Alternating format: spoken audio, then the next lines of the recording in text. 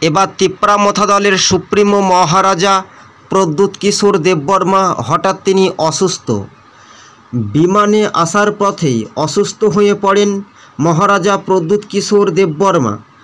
ILS হাসপাতালে ভর্তি রয়েছেন।